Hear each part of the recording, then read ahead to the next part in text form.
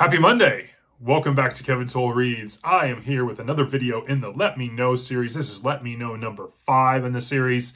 Today's topic is Does book hype help or harm? So, the question is Does excitement around new releases or new books that you have yet to read, does it spoil the reading experience for you? Do you believe the hype or do you take a more cautious approach to new books? Even if it's something that is not completely brand new and hot off the presses, if it's something that you've never read, but you're hearing all these great things about it, do you believe the hype or do you tread lightly? And so that's the question today.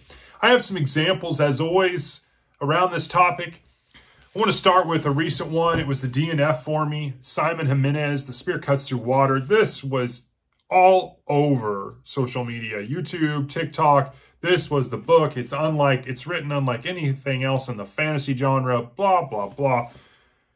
And I DNF'd it. Definitely not worth the hype. I came into this thinking, oh, this is going to be great. It just, no. Another book not a new book, but a book that was new to me that I was like, I've I've had this on my radar for the longest time. People love it. It is the godfather of cyberpunk. Neuromancer by William Gibson. This was supposed to be the thing that will really turn you on to this subgenre of sci-fi called cyberpunk. And I read this book, and it is one of my lowest rated books in 2024. One and a half stars. I just didn't get the hype. I mean, I just wasn't captivated by the story. The characters weren't.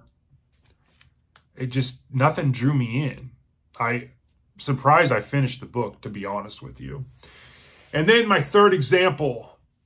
This is how you lose the Time War. I rated this one a 4.2, believe it or not.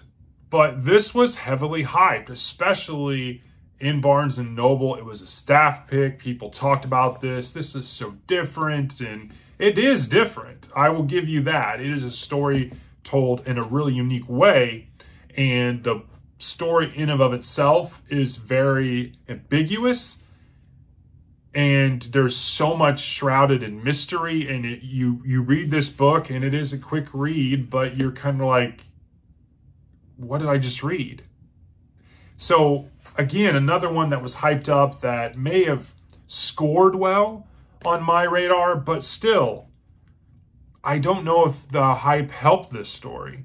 I, and in fact, I think it. I was so keyed up that this was going to be so good, it was a little bit of a drawback. So, those are my examples. As always with these, I am interested in what your takes are. Let me know in the comments. Do you believe the hype or do you tread more cautiously? Do you feel like hype sets up books to be colossal failures or do you think the hype is a good thing? Let me know in the comments. I hope you're having a great day and happy Monday to you all. Thanks.